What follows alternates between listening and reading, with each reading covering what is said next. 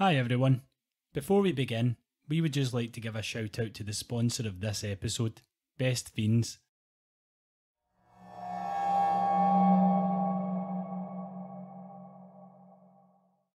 Our episodes deal with serious and often distressing incidents. Listener discretion is advised.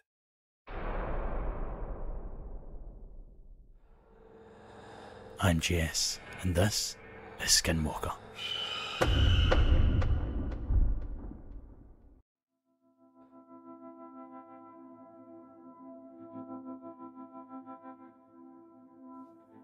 Ice cream vans were as well established a feature in Glasgow as they were in any other major city in Britain. They park on the pavement, play a catchy jingle to alert hungry potential locals to their arrival, then serve frozen treats to their customers.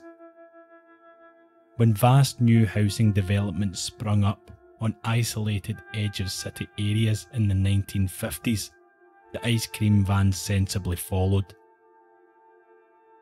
Their trade improved from their previous routes as the developers of the new estates missed out one key area in their urban planning amenities. They built rows and rows of houses, many stacked high on top of one another, but did not build units for local shops to occupy. People had no place to buy food easily and quickly. Procuring goods required a planned trip, either walking or by bus to somewhere which had these stores.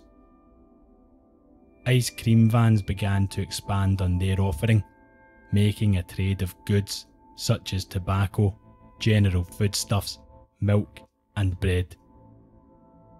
One firm, Marchetti's, found a particularly lucrative way of doing things by opening up a cash and carry, a type of large wholesale store to sell goods to their franchisees. Their franchisees would then take their Marchetti leased van out into the new housing schemes.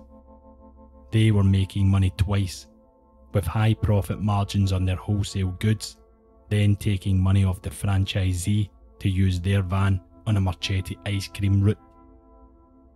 The Marchettis also owned the best routes due to the firm manner in how they did business.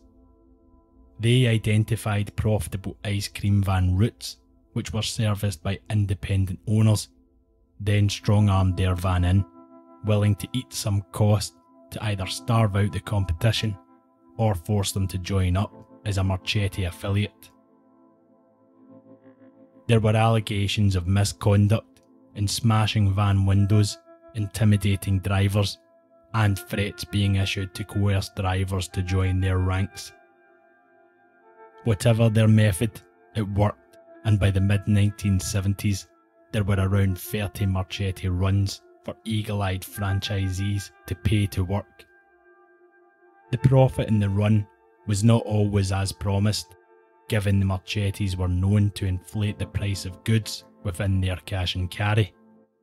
The gains did, however, become more lucrative for some once they started reselling stolen car stereos from their vans. In the late 1970s, alcohol abuse was joined by drug abuse on the estates.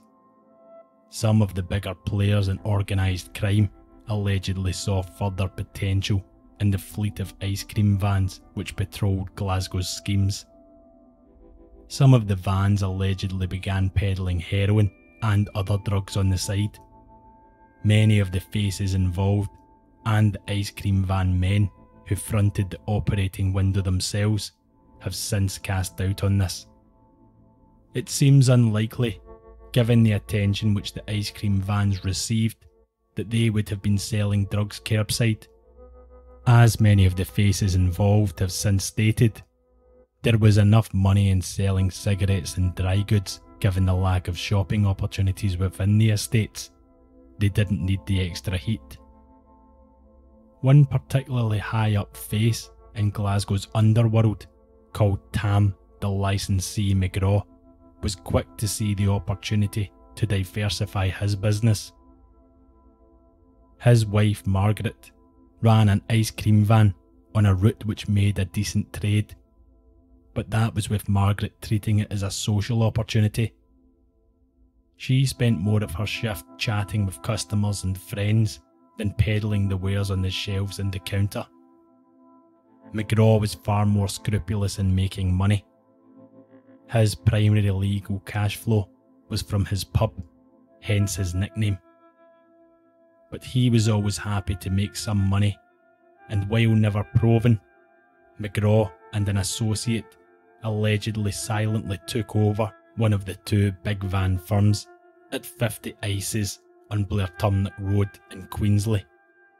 50s, as it was more commonly known, was a cash and carry with ice cream van docking spaces to remain overnight. Whether he was the outright benefactor of 50s or not, he was a regular face in the place and ran at least several vans serviced by the yard. Tam McGraw soon involved a man named Teddy Rennock in a new ice cream van route through 50 Ices for his soon to be freed friend, Thomas T.C. Campbell. Campbell was at the time serving eight years for attempted murder and riotous assembly. Rennock was the legitimate face of the operation as he had a trader's permit and a history of running legitimate ice cream vans in the East End. Rennock was brought to a meeting at McGraw's house on a Sunday afternoon before Campbell's release. When he arrived, Tam McGraw sat him down and explained what was to happen. Rennock and Campbell were to muscle in on a Marchetti van route in Carntyne. The run, McGraw explained, currently took in £300 a night by his estimate, and Campbell would advise the current owner of the run it was time to take early retirement. Rennock was told he would be entirely free of the burden of dealing with the pending turf war. That would be for the heavy of the party to sort with the Marchettis and their lads. All he had to do was pay McGraw and Campbell on time and ensure the van looked above board while he behaved above board. Three weeks later, after TC had spoken with the driver of the Marchetti van, a man named David, Rennock took to the streets of Carntyne. He stopped at all the critical points of sale that same Marchetti driver had designated as profitable on his 10 years serving the route. McGraw was right. The first day's takings were nearly £300, and that was without the sale of anything harder than nicotine. The violence began on the second day with the Marchetti van and the new van fronted by Teddy competing for Carntyne's foot trade. According to Rennock, halfway through the run on Mireside Street, Thomas Campbell queued for the competing Marchetti van. When he arrived at the serving window, it was not to order ice cream.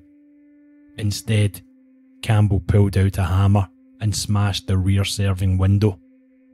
The van driver quickly hopped in the driver's seat and took off as fast as the low powered ice cream van would allow. On the Friday of the first week, as Teddy Rennock finished the last stop on his ice cream van's route, which was Inverleaf Street, he saw a Marchetti van pull in in front of him. As he watched, another pulled in behind him, wedging his vehicle in. Two men came out of the van and confronted Teddy. They angrily demanded to know if he was the man they had heard was muscling in on their territory, Thomas Campbell. Before he had the chance to reply, the real Thomas Campbell had exited a car which was tailing Rennock's van alongside his accomplices and had begun to set about the men, inquiring loudly at the van's serving window. One of the team a young lad named Billy McPhee took the keys for the Marchetti van and took it for a joyride as the men lay on the deck being beaten. The same tactics which the Marchettis had employed against the independent van men were now being employed against them with a strength and ferocity they could never have imagined. The police interviewed Rennick later that evening about the events, but ended up more puzzled than anything, pondering why, as a relative no name with no real record, he seemed to be taking on the established firm. They were unaware that they had just conducted one of the first in depth interviews with anyone involved in the turf war, which was about to envelop the housing schemes of the east and north ends of Glasgow.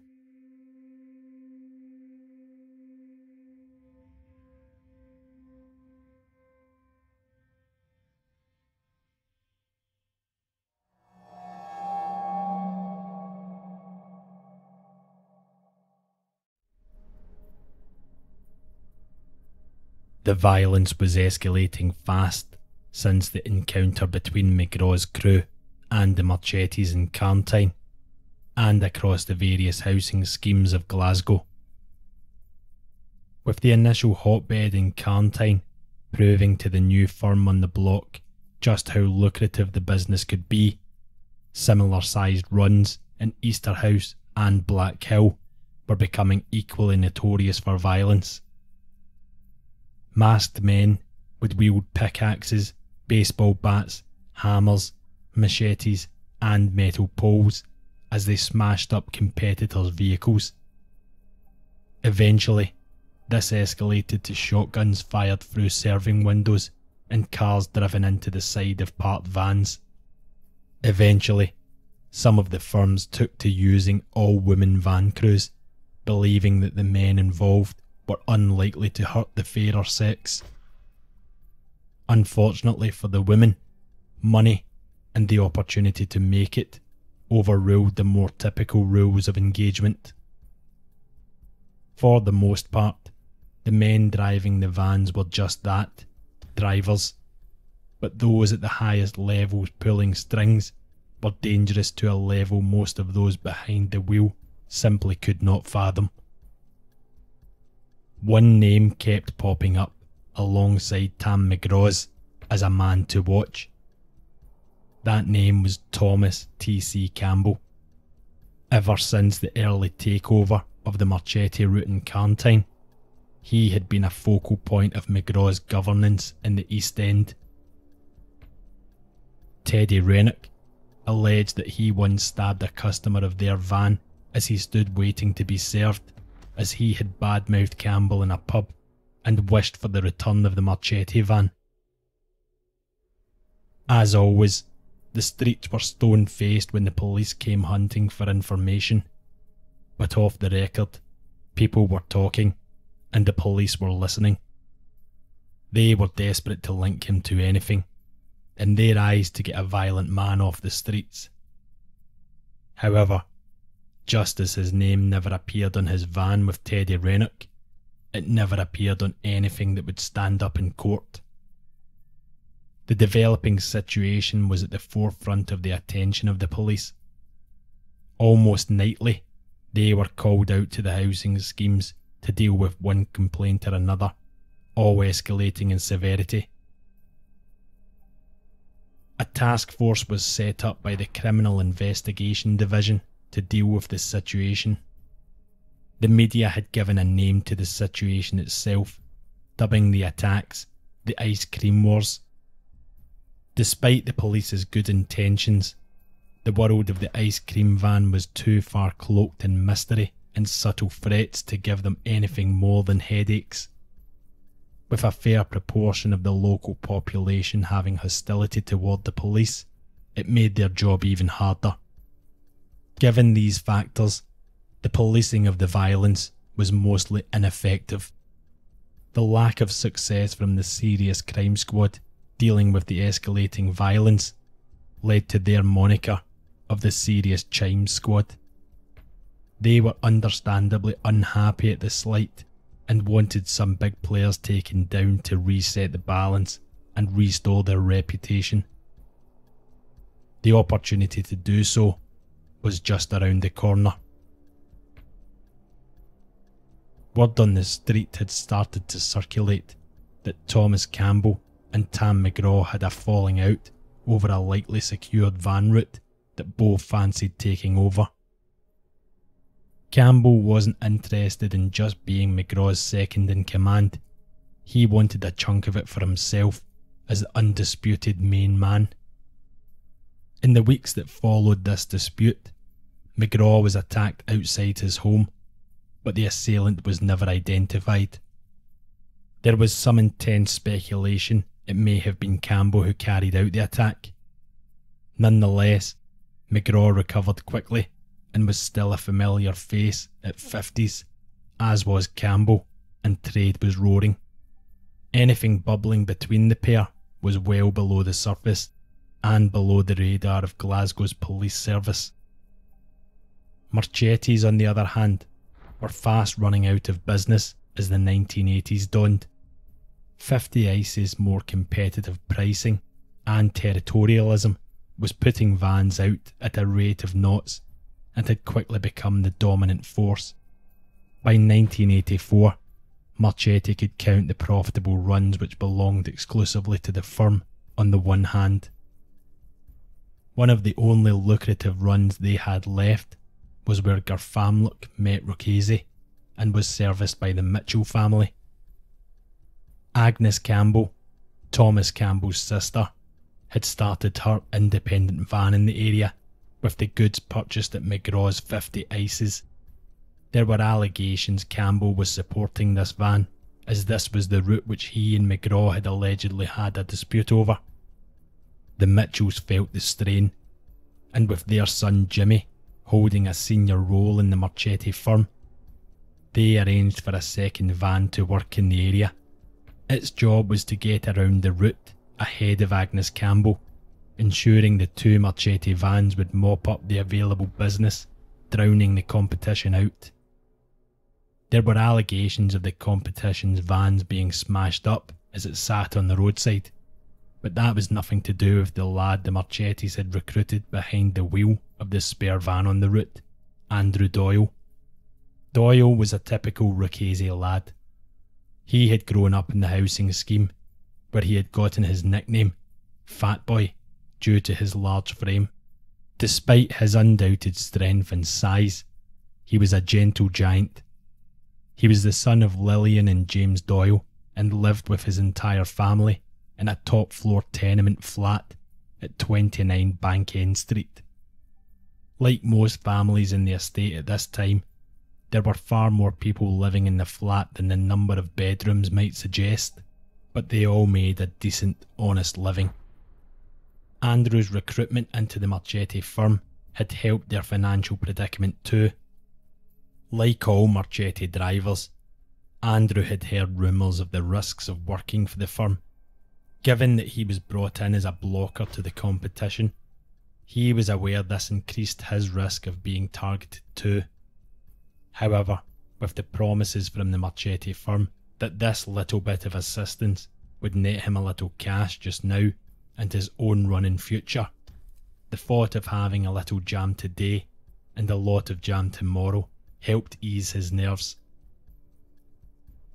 In February of 1984, Andrew once again set off to help out the Mitchells in getting ahead of the independent van. He was working in the van with his 15 year old serving assistant, Anne Wilson, planning his route. The pair usually worked 5.30pm to 11pm to achieve their run, which went from Porchester Street through Balvenie Street, Inverlochy Street, and then on to Tattershall Road, along with any arteries that ran alongside them. At 8pm, the van played its chime to alert the locals to the fact that it parked on Balvenie Street. Anne was seated in the front on top of a milk crate when she saw a maroon Volvo approaching.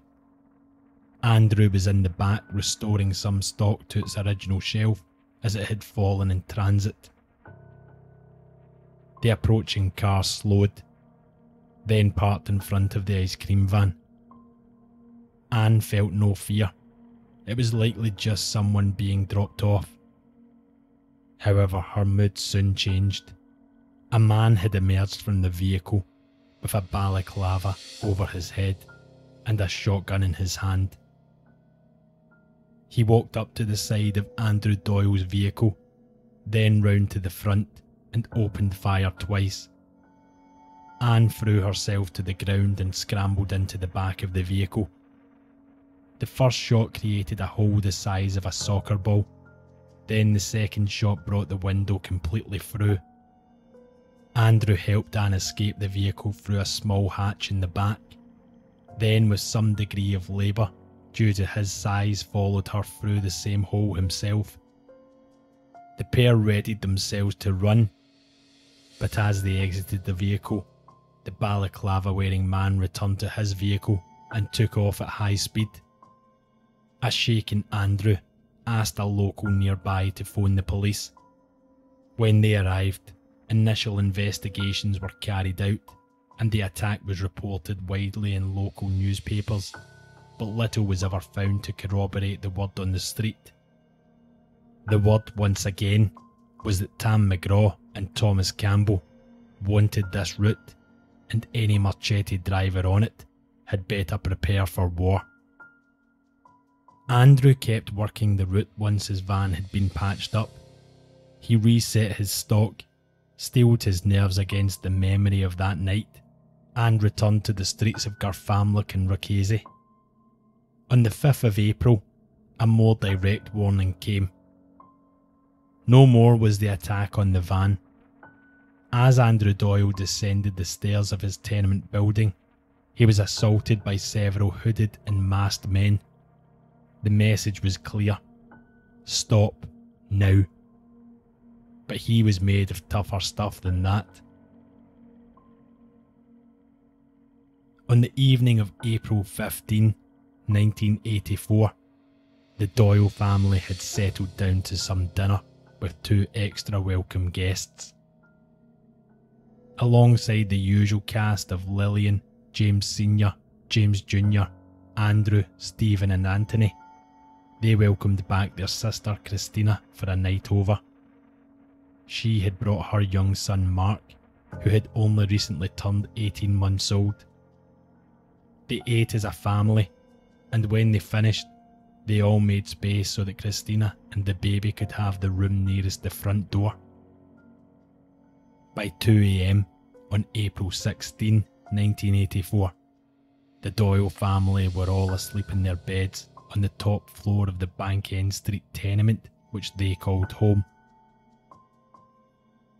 As they slept, they were blissfully unaware of the men outside they were unaware that shortly before they had amassed outside their flat, one of the men had asked a cashier at a local garage if he could buy petrol in a plastic canister, upon which she refused him service. When a more senior member of staff stepped in to say these men were to be served, despite her misgivings, she relented and processed their petrol. Men were then seen carrying large plastic canisters of fuel and emptying their contents on the landing outside of the Doyle family's flat and on the door of the flat itself. There was a small storage area too, in which the family stored spare tyres, paint, and the like. That got a healthy dose of petrol too. When the group decided there was enough petrol on the ground to terrify the inhabitants, they walked partway down the stairs and flicked a lit match back up to the pooling fuel above. As the flames started to climb the door, they descended the stairs. The Doyles were taken entirely unaware. By the time they had awoken, the flames were engulfing much of their flat. Either whoever had made the calculations on what constituted a frightener amount of petrol had been wrong by a significant factor, or the message here was much more severe than a warning. The flames were made even thicker and more dangerous as they burnt the rubber on the tyres from the store. The Doyles made desperate attempts to escape as the acrid fumes filled every inch of their small flat. The way through their door was blocked off, and opening the door to their balcony only made the flames grow higher. Being 40 feet up made it a difficult escape, even from the balcony. Neighbours in the same building managed to escape through the stairwell quickly before the flames engulfed their part of the building too. Far more worryingly, they reported hearing screams, banging on walls, and shouts for help ringing out for what seemed like hours. The screaming, banging, and cries had continued long past the point which many would have expected the inhabitants to collapse, as there was a solitary window in the flat which lay opposite the direction of the smoke. Members of the Doyle family, who had made it to the room with the lone safe window, were taking it in turns to breathe that small amount of life saving oxygen, then swapping out when another member of the family was getting close to collapsing. In a situation whereby most people would have been out for themselves, the Doyle family stayed in it together. The fire department was on the scene as fast as their vehicles could take them. Police and ambulances were there too. Christina Halloran, James Doyle's eldest daughter, and her baby Mark were not able to make it into the safe room with the supply of oxygen. Christina was discovered cradling her body over that of her infant son, dying trying to protect him from the rising horror. Baby Mark was found barely breathing but despite the best efforts of the paramedics, died as a result of smoke inhalation at the Royal Hospital for Sick Children. The remainder of the family had managed to survive the fire itself. Stephen Doyle had jumped from the balcony, braving the 40 foot drop, and miraculously ended with only minor injuries. Lillian had been cut off from the rest of the family and was perched in another externally facing window until the fire brigade arrived. The remainder stayed by the remaining window, sucking in whatever air they could, and a whole lot of acrid smoke too. Members of the family, one by one, emerged from the devastation. Bare chested, soot covered, and delirious. They were set off in ambulances attempting to reverse the effects of the smoke. As Andrew Doyle was led to a waiting ambulance, he shouted over to the waiting policeman, quote, You know who did this. Tragedy then became an onslaught for the family. Within 48 hours, James Doyle Sr. and Jr. had died as a result of smoke inhalation, as did Andrew and Anthony. Their lives were brutally cut short as a result of escalating violence that they had little, if any, part in. In ages, they ranged from 18 months old to 53 years. In death, their coffins filled the entire altar of their local church as they were buried by the only two members of the family who had survived the fire Lillian and Stephen Doyle. In a rare media appearance in 1996, Lillian Doyle stated she was still plagued by nightmares of the screams from the fire at their Bankend Street flat.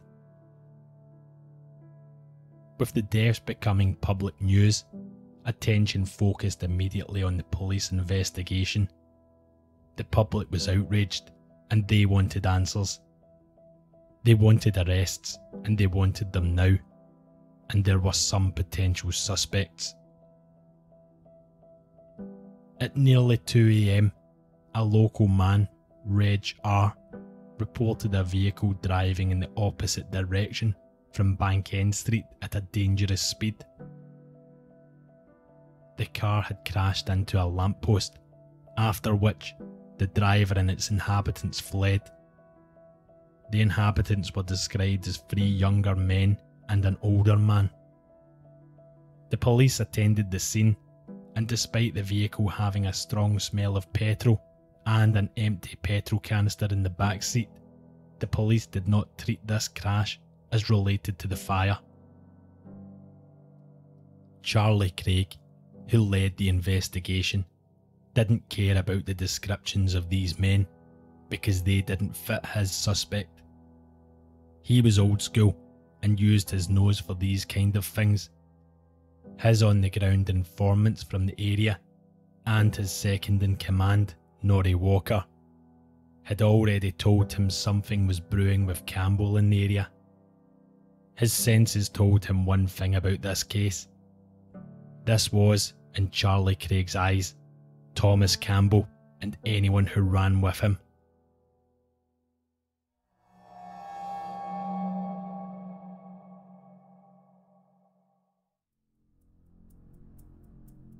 Thomas Campbell was born in Cowcaddens, Glasgow, on November 4, 1952, but moved to nearby Carntyne at an early age. He was the youngest of ten children, although two died in infancy. His father was a tough man, known to berate the young Campbell about his belief that he was a tough guy, using his hands to teach the lessons he felt words could not. But Campbell more than believed he was a tough guy. Campbell was a tough guy. He stood tall and slender, with a nose almost flattened to his face due to the occupational hazards of his fist's first approach. Campbell's fighting was self described as being out of the Wild West, being equally skilled in combat with his fists or with a knife in his hand.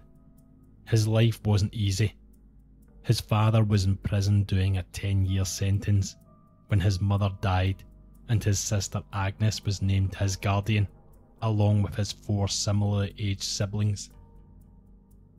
By his mid teens, he had become the head of the Carntyne Gaucho Razor Gang. While the name reflects their most common weaponry, the gang also made use of hammers and axes when battling other local gangs.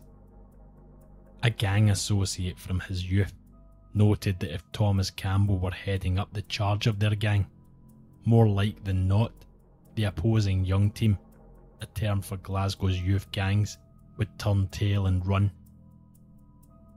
Campbell himself was nearly always at the front of the charge.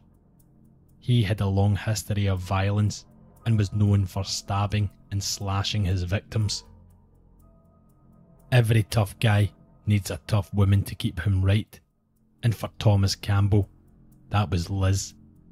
They had been together from young and stuck together, for better or worse.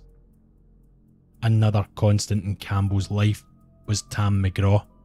Campbell and McGraw had a tumultuous relationship. They were boss and hired heavy in some respects, business partners in others, friends and enemies as the wind took them.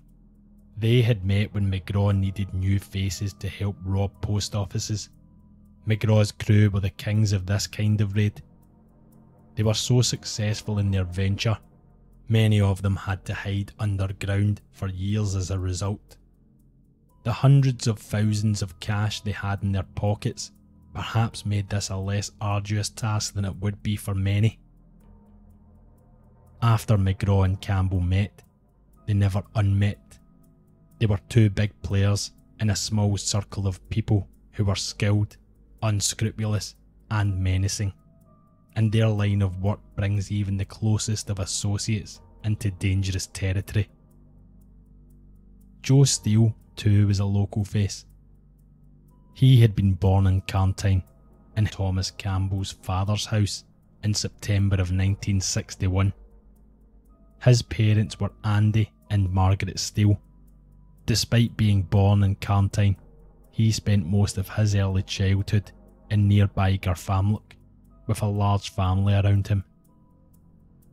The Steeles were a well known family in the area. They were not to be trifled with and had one another's back, no matter the opposition.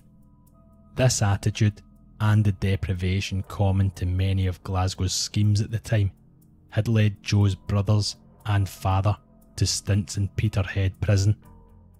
In the typical fashion of self fulfilling prophecy, many members of his community remarked to him that he too would go to Peterhead like his brothers and father.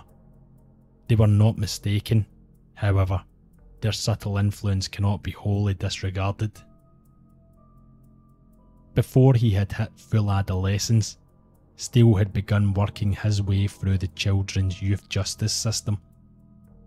This led to a stint in St Andrew's approved school in Dunbartonshire, 50 miles away from his native East End of Glasgow, when he had just turned 14 years old.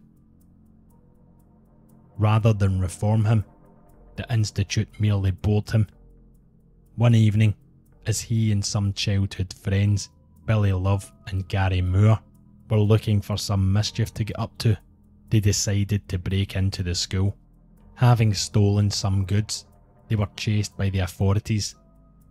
Steele took refuge in a broken down building before being discovered by the St Andrews headmaster. The headmaster gave Joe a choice come back to the school and accept his fate, but avoid incarceration, or be turned over to the police to face the justice system once more. Steele chose the court system and soon found himself one of the youngest boys in Scotland to be serving a custodial criminal sentence at only 15 years of age.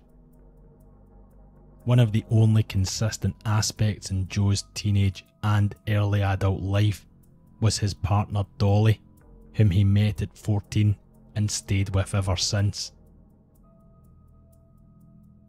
When he got out, when he wasn't spending time with Dolly or looking after his grandmother, known locally as Old Ma Padden, Steele took to working in the street sense of the word. By now, he was a stocky young man, well built with low slung shoulders, sporting his trademark see through glasses and near balding despite his relative youth.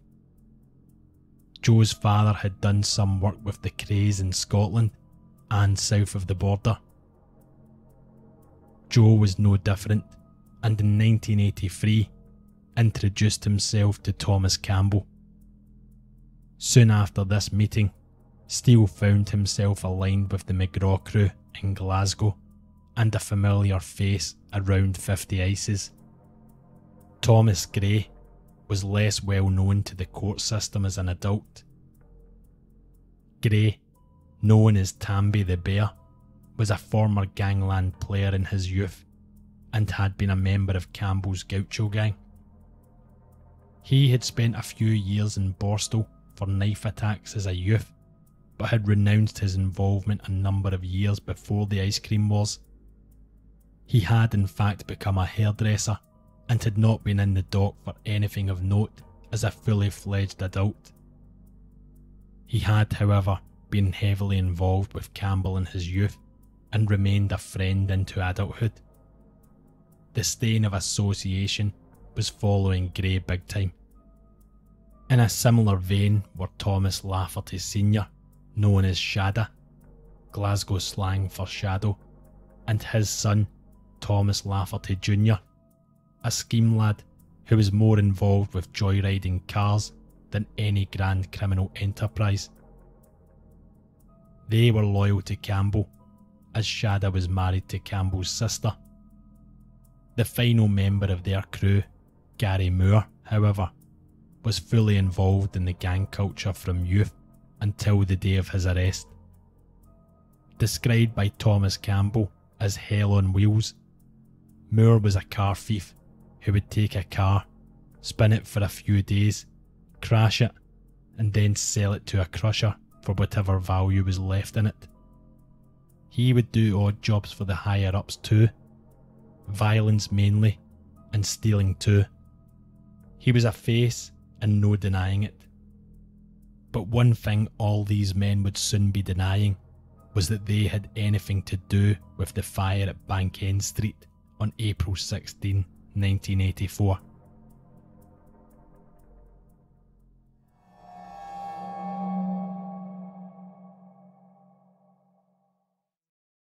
Listening to true crime podcasts can be a great way to really get you thinking, but sometimes we all need a break.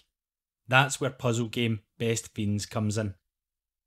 Skinwalker producer Matt Kay has found the perfect way to relax while editing our episodes is to take a quick break and level up through different puzzles and collect new fiends. Best Fiends keeps things fresh as you find new fiends and the levels get harder as you progress. They also add new levels and characters to play for monthly.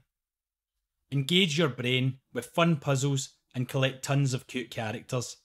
Trust me, with over 100 million downloads, this 5 star rated mobile puzzle game is a must play. Download Best Fiends free on the Apple App Store or Google Play. That's friends without the R. Best Fiends.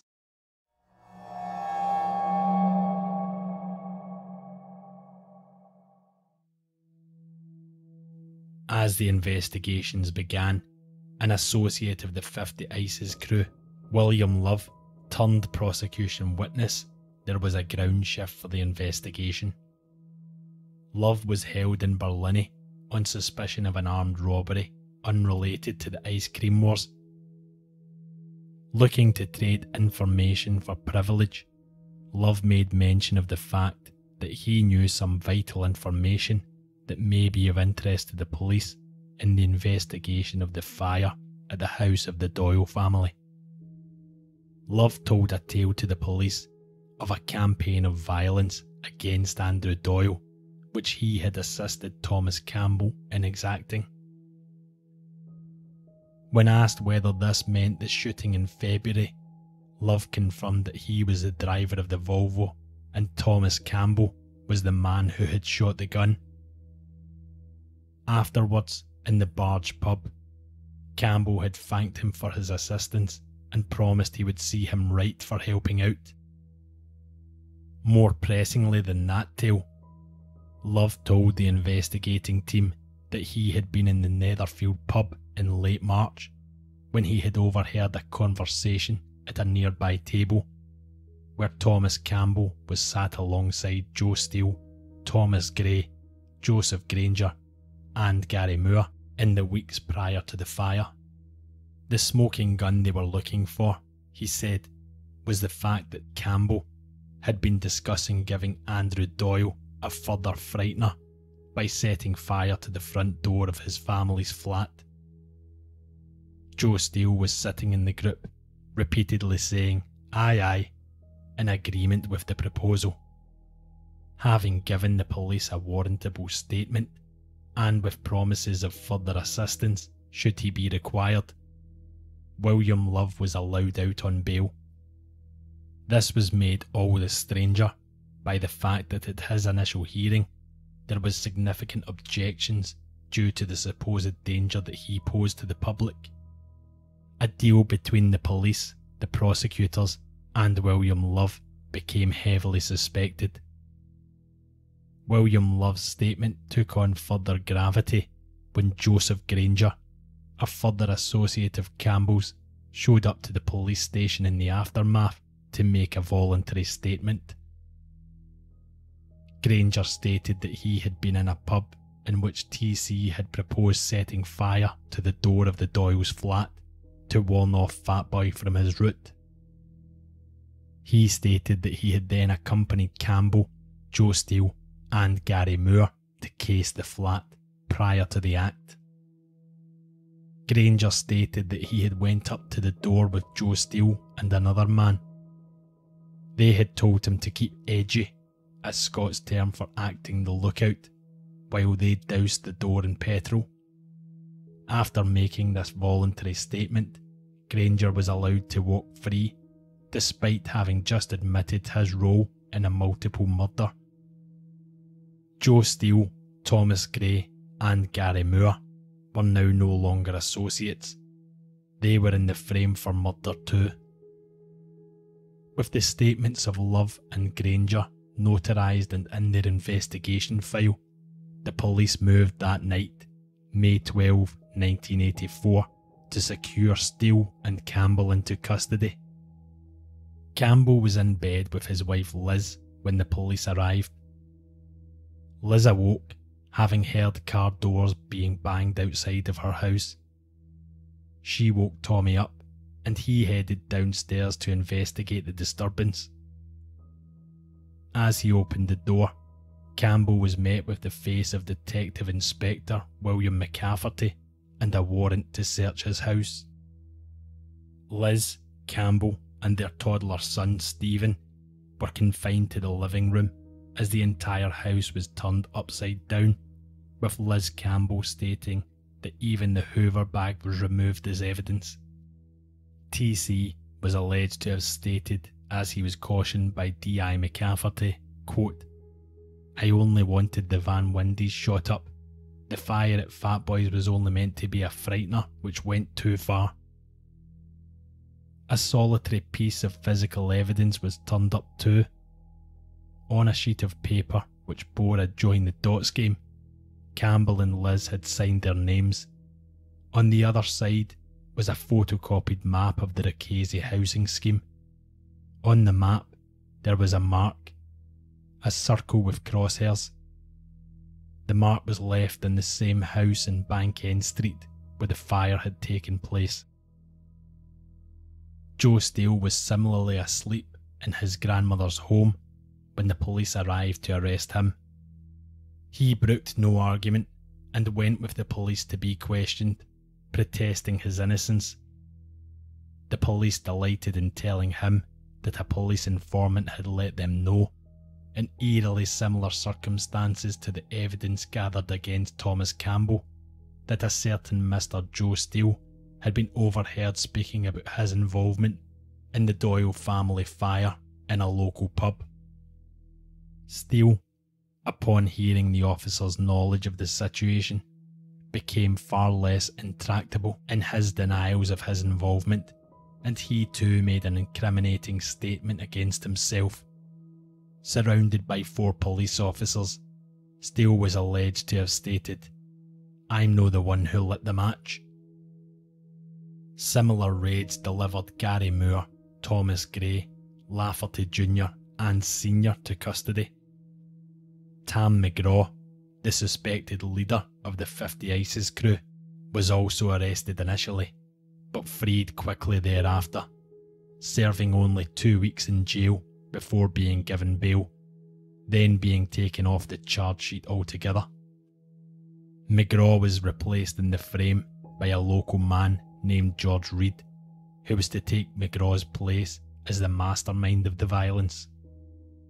Initially, Campbell was charged with the fire raising murder with his nephew, Thomas Lafferty Jr., as the others were investigated and charged for violence surrounding the fire, but not the fire itself. These initial hearings took place at the Sheriff Court in Glasgow, with the young Lafferty and Campbell firmly in the frame, and the focus of the investigation to that point had been to obtain evidence which proved Campbell and the young Lafferty had torched the house and to nail them for it. Armed with the new incriminating statements and the collection of testimony, the focus soon went away from Lafferty Jr. The young lad had been replaced in the frame by Joe Steele Gary Moore, and Thomas Gray. With two perfectly self incriminating statements by two of the men firmly in the frame, and several witnesses who had the perfect vantage point for Campbell and his associates' sloppy speeches in local pubs, with a little change of perspective, solving the Doyle family murders was looking to be a home run. No longer would the CID's team on the ground be the serious chime squad. They were about to bust serious players and put them away for a severe stretch in prison.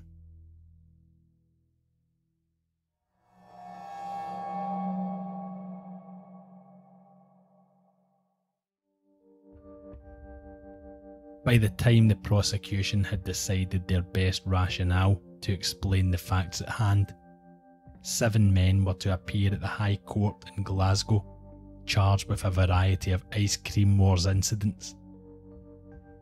These men were Thomas Campbell, Joe Steele, Thomas Gray, Thomas Lafferty Jr. and Sr., George Reed, and Gary Moore. Of these, only Campbell, Steele, Gray, and Moore were facing the prospect of a conviction for the murder based on testimony to come. Key to proving their guilt was the statement of Joseph Granger.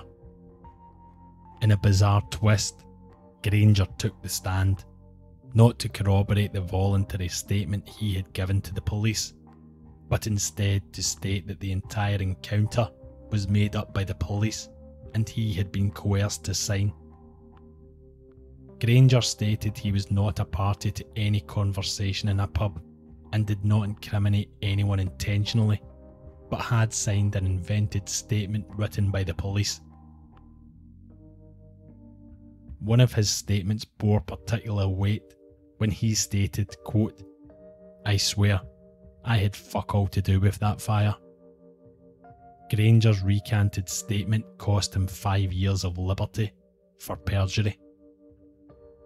Granger's removal from the evidence pool did little to deter the prosecution's fervour. They simply shifted the lens from the now retracted statement of Granger to the testimony of William Love and his sharp eared remembrance of the encounter in the pub. William Love expanded his story to note he was within a degree of certainty that the meeting had either taken place on either Friday or Saturday, which would have been March 23 or March 24 of 1984. When Love stated that he had received Campbell's gratitude for driving him to the shooting up of Andrew Doyle's van, Campbell countered that it was Love who had shot the van, and he was simply using Campbell as a front to distance himself from the crime. The prosecution continued undeterred. As Love's testimony unfolded, and Campbell and Steele's alleged statements to the arresting officers were presented, the landscape did not look promising for two of the main players in the dock. The men themselves were adamant the entire thing was a stitch up. Next to speak were the police officers who had come to give their statements about the arrests of Joe Steele and Thomas Campbell. Every officer gave an almost identical statement, little varied in their grammar, their recollection of seemingly trivial events, and absolutely nothing differed in their memory of the incriminating statements that both men had made. Strangely, they consistently used the same spelling of words such as no rather than not, imitating the men's Glasgow brogues. Joe Beltrami noted with some heavy implication that he found such consistency to be interesting. When the presenting of evidence was complete, the judge presiding, Lord Kincraig, noted the lack of physical evidence linking anyone, never mind the men in the dock, to the fire itself. Everything was based on verbals, supported only by the credibility of the person delivering it. In that sense, it was accepted that there was insufficient evidence to convict the men should the testimony of William Love not be accepted by the jury. With the limits of William Love's testimony in mind, tied to the lack of directly incriminating evidence or statements from the men themselves, Gary Moore and Thomas Gray were released from the charges of murder against the Doyle family. Thomas Lafferty Sr. and Jr. too had theirs removed earlier within proceedings, although other Ice Cream Wars offences on many of their charge sheets did remain to be heard by the jury. Lord Kincraig then shifted the focus for the murders firmly back onto the two remaining men Thomas Campbell and Joe Steele on the murder charges. Lord Kincraig made specific mention that the remaining men had made statements about their own guilt. Further to that, William Love would have had to snare many of the most suspicious investigators in society within a lie should he not be telling the truth. The implication was clear. Love's testimony held weight in the eyes of the judge, then he returned to addressing the statements the police alleged Campbell and Steele to have made. Lord Kincraig noted that should they have been false, then the jury would have to accept that not one or two or four, but a large number of detectives have deliberately come here to perjure themselves to build up a false case against an accused person. It would further mean there had been a conspiracy by officers of the most sinister and serious kind to saddle the accused wrongly with the crimes of murder and attempted murder, and murder of a horrendous nature. It was clear on which side of the fence the judge fell. However, the fate of Thomas Campbell and Joe Steele lay in the hands of a jury of their peers. After two days, the jury returned. They sided with the investigating and prosecuting forces and handed down a verdict of guilty against both parties on all charges. Thomas Campbell received a life sentence with a minimum tariff of 20 years. Joe Steele was given a life sentence with no minimum tariff.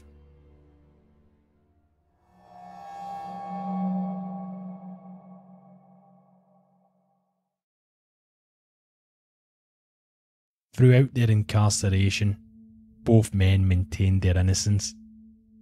Together, they presented a united front as the Glasgow Two, wrongfully imprisoned for six murders which they had not committed. Joe Steele repeatedly enacted non violent and audacious escapes from prison to spread the message of his proclaimed innocence. He had first escaped from Perth jail in 1989, then sought in prison in the early 90s, before famously escaping again and tying himself to the fence at Buckingham Palace in April of 1993. Campbell and Steele had also made a pact that throughout their imprisonment they would never cooperate with the police, to prove they would sooner serve hard time, to prove they were fitted up, rather than cut a deal which diminished this proposition. After several years of hard time, Campbell agreed on a move to Barlinnie Prison's special unit, a much comfier place to serve a sentence and a deal with the authorities. This move created significant and long lasting tension between the two. Although publicly they were the Glasgow Two, they were enemies behind closed doors. Campbell had also begun to suspect, whilst inside, that Tam McGraw, a supposed friend of the pair, was discouraging people from looking too deeply into the crimes. Why he would want to prevent their release was unknown, although, upon this discovery, Campbell firmly switched the lens of his suspicion for the fit up onto his one time friend and business associate. In 1989, Campbell was unlawfully attacked by prison guards and was awarded £4,000 in compensation for his injuries. John Linton was a believer in the pair's innocence and was himself a known street player. He had turned away from his tax free occupation to support his friends in their fight against their conviction, believing them entirely that they were victims of a severe miscarriage of justice. Famed Scots true crime author Reg McKay declared John a saint turned sinner. People outside of the criminal fraternity began to have doubts too. Some people didn't think the story which the jury had convicted on added up.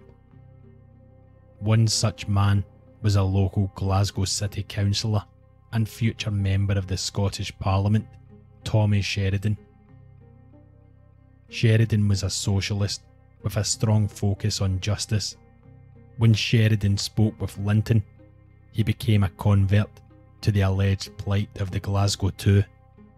The two organised marches and rallies to have their appeal heard, alleging police corruption and wrongful conviction, allowing the real guilty parties to remain at liberty.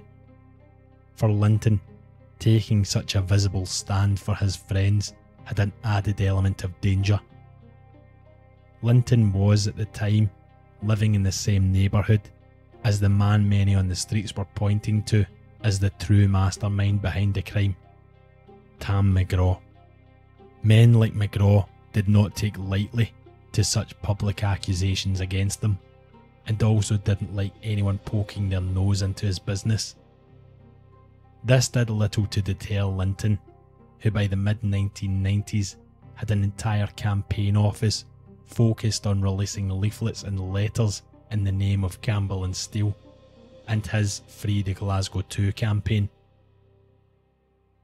Upon leaving his East End offices, he was assaulted multiple times in the parking lot by those who opposed his message. Linton also received a letter to say the building in which his office was rented had been bought over. As he read through the letter, it stated that he was expected to leave the premises.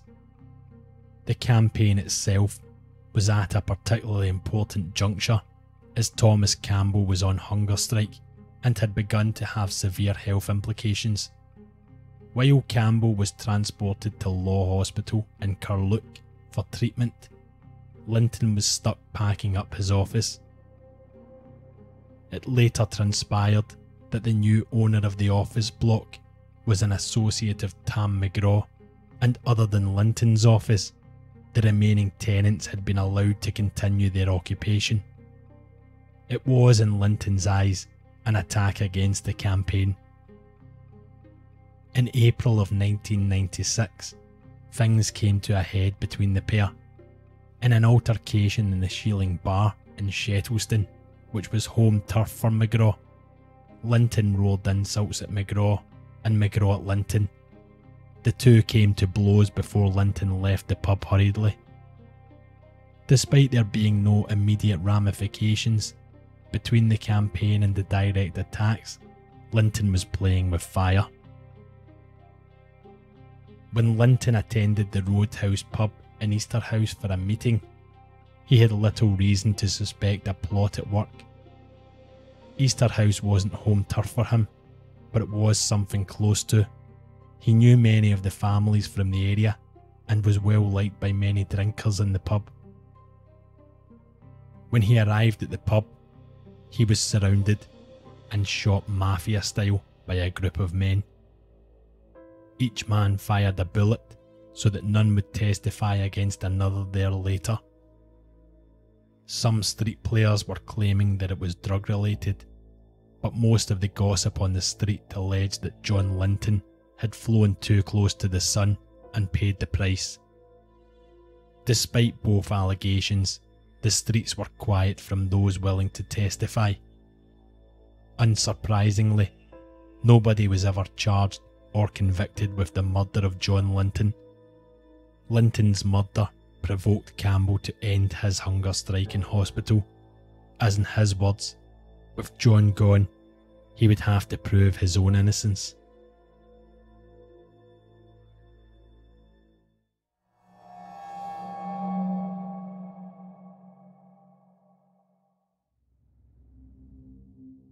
As the years passed and the impact of Thomas Sheridan and John Linton's campaign began to take root, the public themselves became unconvinced by the justice in the Glasgow Two's convictions. The pair's antics while they were imprisoned may have put off some, but injustice resonates with everyone. There were multiple public allegations from local street players hitting the papers that around the time of the Campbell and Steele arrests, they had been threatened with association with the crime if they didn't sign comprehensive statements pointing to Campbell and Steele as the guilty parties. Others alleged police violence to the same end. Others alleged reductions in sentences and charges disappearing if they would issue an incriminating statement against Campbell. With these in mind, Granger's statement, which led him to a conviction for perjury, began to look far less improbable. Furthermore, both Reg R and the lady in the petrol station nearby to the Doyle family's flat both came forward to state that they had made themselves available to the police as witnesses. However, when they did not identify Campbell and Steele as the men involved, they were never contacted again. A further blow was struck to the convictions when the testimony of William Love was overruled as he had admitted to fabricating evidence. Love's testimony had corroborated the position of another police informer who testified that he had overheard the pair admitting responsibility for the fire and was pivotal in the prosecution's case against Campbell and Steele. Frank Falloon, another East End local, was being held on remand with William Love. He spoke publicly of Love having approached him in Barlinnie to tell him that the police had offered him freedom for the testimony to put Steele and Campbell behind bars. Despite Falloon's advice to stay away from the deal, Love, it seemed, had accepted the offer. When Love had stated that he had overheard Thomas Campbell's admission of guilt, he was being held, as noted, pending trial for his suspected role in an armed robbery. It was not unusual for Barlinnie's remand inhabitants to bargain with police over their knowledge of other crimes not associated with their own hands in exchange for either favourable sentencing or having the objections to their bail removed. There was one key complication, however. The armed robbery for which William Love had been arrested had taken place on the same weekend he had stated he overheard Thomas Campbell make the damning admission. This, in and of itself, meant nothing. However, while Love defended himself from the accusations against him, he had given an all encompassing alibi for his whereabouts on the weekend of the crime. Love listed many locations where he could have been spotted by eagle eyed passers by that weekend to prove his innocence. One place which did not feature on his list was the Netherfield pub, in which he stated he had overheard the damning admission for which he testified in court. It transpired that Love had given a further contradictory version of events, which was buried within the investigation documents. In this version, he had been in the pub on the weekend of March 23rd. However, the admissions of guilt had not taken place until sometime in early to mid April. How William Love supposedly heard this information while being on remand in Barlinnie prison was anyone's guess. It likely contributed to why this specific version of events, one of three in total given by William Love, was hidden underneath a mountain of paperwork in the investigators' files and not made available at pre trial to the defence team. Should it have been made available, Thomas Campbell and Joe Steele may never have been convicted of the Doyle family's murders. Proof of William Love's deceit was not to end there. Agnes Carlton in 2000 had stated to a Channel 4 documentary that it was her brother who had shot up the Marchetti van in which Andrew Doyle had been working in February of 1984. Thomas Campbell had been accused of that in Love's testimony too. Her brother had then brought the weapon into their home in a black bin liner prior to its disposal. Her brother was William Love. In the filming of the same documentary, Love, who was then living between Dartmoor and London, admitted to having fabricated his testimony and admitted he had shot up the Marchetti van, as his sister had confessed. When pressed on whether he had acted under the instructions of Thomas Campbell, Love stated he had acted under instruction, but those instructions had not come from Thomas Campbell. When asked who had given the instruction, Love refused to be drawn on the issue. Many speculated in the aftermath that he feared saying the name of Tam McGraw for fear of reprisal attacks. The arrests and convictions against Joe Steele and Thomas Campbell came further into dispute when analysis was given to Joseph Granger's statement. Exact details of this statement were not made public at the time due to the recanting of his evidence at trial.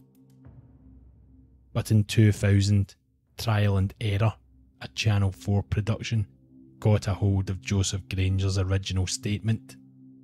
In it, he noted that he had kept edgy a week after the discussions in the Netherfield pub, which had taken place around the 9th of April.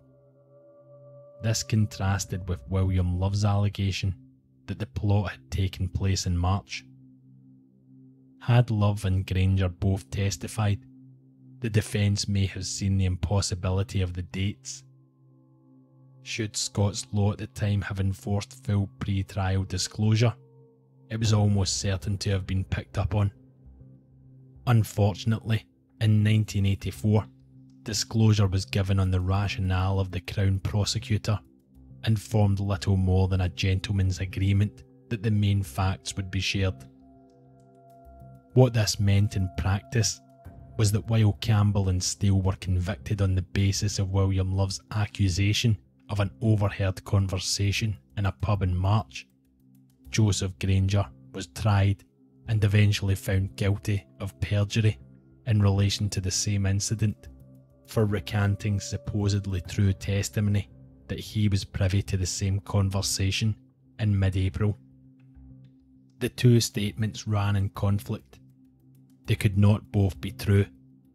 Either Granger had perjured himself in an attempt to save Thomas Campbell and Joe Steele, or William Love had committed perjury to save his own skin at the expense of two innocent men's lives.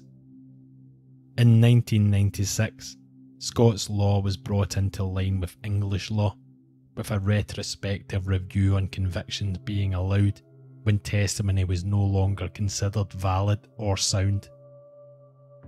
With Granger and Love's version of events now both seen as unreliable, Steele and Campbell were ordered to be immediately released pending review. Despite this, just over a year later, the pair's convictions were reaffirmed by two of the three appeal judges, and they were returned to custody. In 2002, the pair were granted further right of appeal and were returned to the outside world, awaiting the legal case to proceed. Evidence from psychologists cast doubt on testimony given by police officers concerning incriminating statements said to have been made by both defendants. Four officers reported Campbell as saying, I only wanted the van windows shot up. The fire at Fat Boys was only meant to be a frightener, which went too far. The officers' recollections of what was said, known as verbals, were nearly identical but the psychologist brought forth evidence from a study they had conducted, which had four groups listen to taped short sentences, then try and recall their content after various durations. The results of the studies showed the groups did not remember even such short sentences word for word. In fact, in 24 word statements, the majority remembered at most 40% of the content. The likelihood of multiple officers remembering 24 word statements independently and after the fact was almost nil. Given the evidence of Granger and Love was no longer available or admissible for a prosecution, the overturning of the legal weight behind the police statements dealt a damaging blow to Campbell and Steele's convictions. Specifically, the appeal court judges decided that the jury would have viewed the police's evidence in a quote different light had they known such similarity was almost impossible and the convictions were unsafe on that basis. Campbell and Steele, after the false dawn in 1996, were finally cleared of association with the murder of the Doyle family in 2004. After 20 years in prison, Campbell and Steele were finally released as free men. While undoubtedly a massive win for justice, albeit 20 years too late, the outcome had the unfortunate after effect of returning the remaining members of the Doyle family to square one, with no one found guilty of their murder, and little wish from the police to change that fact. It was not all smiles for the Glasgow Two either. The pair's relationship had deteriorated, seemingly beyond repair. Speaking to the national press, Steele stated that he could barely look at Campbell, as he had been, quote, up to his neck in the ice cream wars, and his association with the man had ruined his life. He went on to question whether if Campbell had spoken the truth at the time, the men who had truly committed the crime would have been jailed, rather than the Glasgow Two.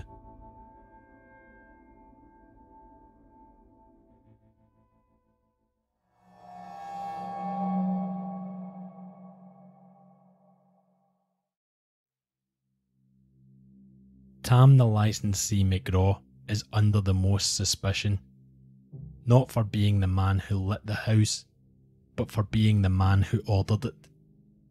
According to Joe Steele, not only does he know that McGraw ordered the torching of their house, he knows who lit the flame. Thomas Campbell claimed that he had information from a source which he provided to the police that Tam McGraw had been spotted buying a canister of petrol on the day of the fires. An interesting event took place after the interim release of Campbell in late April of 2002. Tam McGraw was attacked in broad daylight, only surviving as a result of the bulletproof vest he wore whenever he went outside. A week later, two men attacked Campbell with knives and golf clubs to his serious injury in a vicious fight. The men who committed the attack were McGraw and a since murdered henchman called Billy McPhee. Either it was revenge for the week previous, or they wanted Thomas Campbell silenced. Casting the eye further back to the evening before the fire, a further incident of note had allegedly taken place involving Tam McGraw. Tam McGraw's brother in law had recently renovated an ice cream van to take up against the Marchettis in Ruchazie, with the independent making way for his move into the area. Having been on the run for a while since the last independent moved out, they were aware of the young Doyle. The McGraw van, nicknamed the Ruchazie Boxers, exited on the one car wide street out of Ruchazie. Andrew Doyle, and his old clapped out Marchetti van was coming in at the same junction. Doyle's face lit up with laughter as he flashed the pair inside his high beam headlights and drove straight at them. The narrowness of the road and wishing to protect their high spec van gave the Ruchazie Boxers van no choice but to pull to the side and slam on the brakes. Two gangsters in a state of the art ice cream truck had just been, in their eyes, turned over by a daft young boy from the estate having too much fun in an old truck. Could this event have been the final straw for McGraw? Already angered by the young Doyle lad's persistence in keeping his route, had a single act of youthful daring do caused McGraw to order the fire?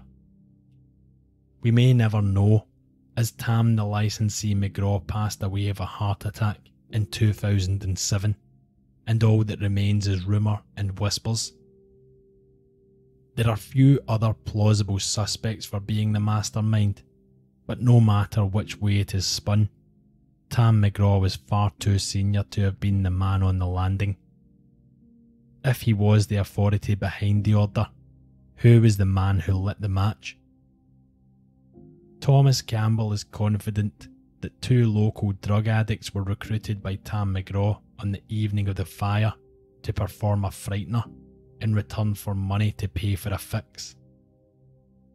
Campbell alleged evidence that it was Tam McGraw in the back of the vehicle when one of the drug addicts made inquiries about getting petrol in a plastic canister in the petrol station nearby to Bankend Street. McGraw's face in the vehicle was the reason why the manager of the petrol station had swayed his young cashier around to processing the man's request, rather than allowing her to refuse him service. The morning after the events, Campbell continued, the drug addicts were visited by an enforcer who quietly let them know that they had never actually been in the company of Mr. McGraw last night and had received no word from him on what to do. If they were not okay with this version of events and their actions, they could assist them there by silencing them forever. The message was received, and these two men went to ground, their actions never punished in a court of law. One other suspect is Gary Moore. Moore was one of those in the dock in 1984, before being freed of the charge by the judge due to lack of evidence. He had not taken this as a second chance and instead had doubled down to become a gangland enforcer. He notably served an eight year sentence for the murder of a notorious Scots gangster's son in 1994. He was also a suspect in a slew of other gangland hits, attacks, and the killing of a sex worker. A month before Moore died, in 2010, he is alleged to have admitted to having been the one who torched the Doyle flat. Moore was quoted as having said, It was me that did them, all six of them. I torched them. Do I regret it? Not one bit. When questioned by a newspaper about the admission, Joe Steele stated, Gary's no angel, but he never admitted to anyone he'd done the Doyle family. He never admitted to fuck all in his life. Moore's partner, Anne, stated that he admitted many things in his past, but had always vehemently protested to her that he did not light the fire at the Doyle family's flat. Anne further alleged that Moore had made the statement to cover for his biological cousin, Gordon Ness, who had lit the match in April of 1984. Ness, who was a far smaller player in the criminal circles and was an associate of Joe Steele with a criminal history in housebreaking, died in 2012, having made no statement on the matter.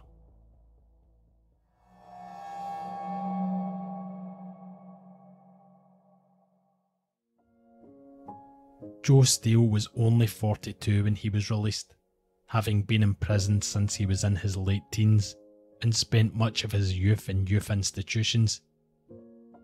He spent eight years in solitary confinement, up to two years at a time for a crime which he never committed.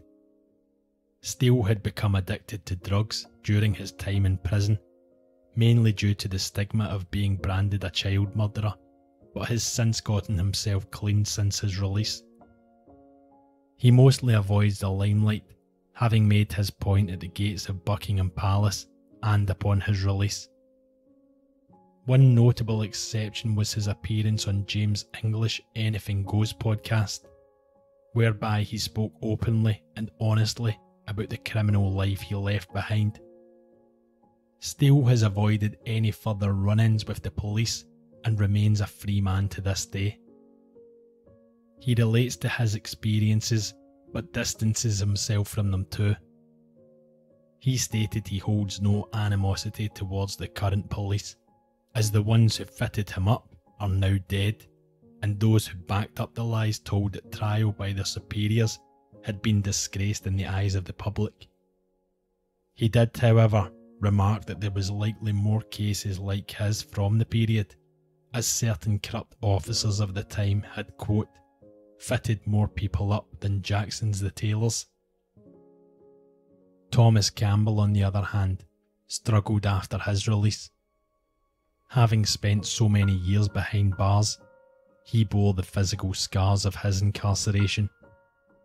Campbell had gone on hunger strike several times to attempt to add significance to the release effort. These prolonged periods without food and water seriously jeopardised his long term health and well being. Campbell renounced the violence of his youth and wrote extensively, including a novel with Reg McKay outlining his experiences in life and the justice system. He too appeared on James English Anything Goes podcast, whereby he spoke eloquently and at length about his life and experiences Having not been seen or heard from for weeks, Campbell was found dead at his remote home outside Dunoon in June of 2019 by his ex wife Karen, after he had failed to respond to a Father's Day message from their daughter Shannon. Prior to Campbell's death, he and Steele had recently reconciled, with the peace terms being brokered by a friend of both men. The police have never conducted an inquiry into the lies which were told at trial, and currently are not actively pursuing any lines of inquiry into the case. The Bankend Street flats, which were at the centre of the Doyle family murders, were demolished by the council and are now waste ground, awaiting promised regeneration in the area. Despite Campbell and Steele's criminal past and their association with a less savoury aspect of society, they too were robbed of much of their life on the evening the Doyle family's home was torched and six innocents lost their life. Whatever their crimes had been in the past, and their involvement in the ice cream wars more generally, nobody should spend a moment imprisoned for a crime which they did not commit. The culture of street violence, aggression, territorialism, and a police unit which focused on getting players off the streets rather than seeking justice for the victims, met in a way which ensured that many lives were wrecked that day. When considering the Doyle family, it is hard to end this in a way that does their suffering justice. The Doyle family suffered immensely then, as they did again when it turned out the police had done an insufficient job in bringing their family's killer to justice and instead focused on removing one of their own problems from the street. A quote from Joe Steele when interviewed by James English on his Anything Goes show in 2019 starkly outlines the problematic position in which the case remains. Quote, I believe the Doyle family deserve the truth, but I doubt they will ever get it now. The police have had many years to set the record straight, so you have to ask why they never did.